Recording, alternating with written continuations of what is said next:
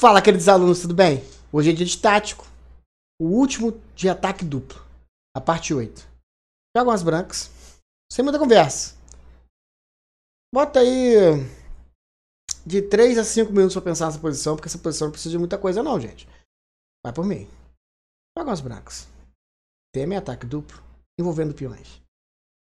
Sem compromisso. Você deve ter desfalsado o vídeo. Parabéns se você fez o lance como D4. Peão, cap... Peão ameaça o bispo na casa C5 e o bispo da casa C1 ameaça a dama na casa G5. Complexo, né? Vamos para outro. Acho fácil, vamos para outro. Jogam as brancas. Acho uma combinação maravilhosa para aplicar o tema ataque duplo de peão. Tá? É, vamos lá, um ataque duplo de peão. Eu vou dar uma dica. Como que esse peão aqui vai atacar o rei e a torre em alguns lances? Tem um spoiler.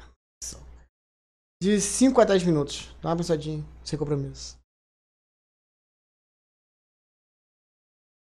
Você deve ter despausado o vídeo. Já está acostumado quando eu for beber minha água para pausar o vídeo.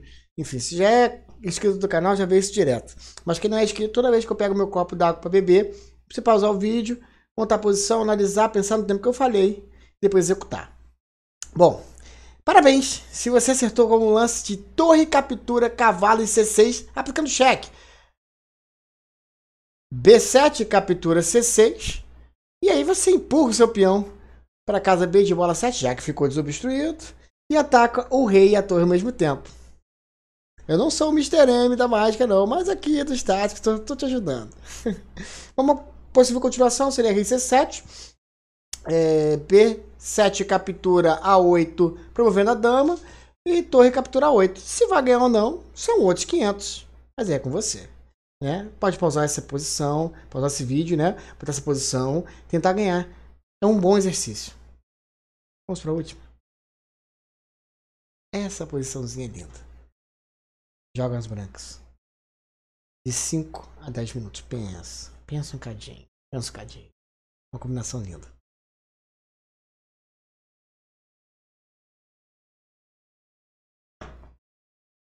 Você deve ter desfalsado o vídeo.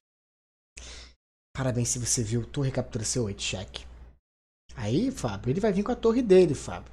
Torre Captura C8. Desde dado 7 dando duplex. Um atacando torre e cavalo. Rei captura desde dado 7. Bispo G4 cheque.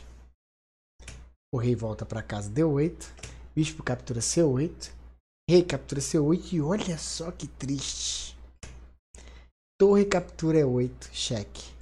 Rei para casa D7 e torre captura H8. Se vai ganhar ou não, são muitos 500. Mas ficou melhor, ficou melhor. Certo? Bom. Se você gostou, deixa o like. Se você não é inscrito, se inscreve, ativa as notificações, compartilha, deixa seu like. Ajuda a gente a crescer. Vamos chegar a 800. Primeiro 750, uma meta menor. 750. Me ajuda a chegar lá? Bom, mais a mais. No link da descrição tem o meu Instagram pessoal, onde você pode conversar comigo. Tem o Instagram da Canetaria da Pan. Tem o Instagram, que é a nossa parceira, né? Tem o Instagram da Academia de Xadrez de Campos. E tem o Instagram da Fechat, que vocês vão adorar. Tratam muito bem de xadrez lá, para profissional e para amante de xadrez. Tem o site chat.com de tempo, que eu pratico, treino e recomendo para vocês. Com isso, gente, no mais a mais, o meu muito obrigado. E até o próximo vídeo.